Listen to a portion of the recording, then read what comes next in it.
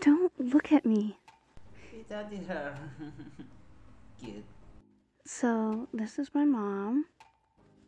You good, then? Oh, It, it fits you really well. I don't like it. This.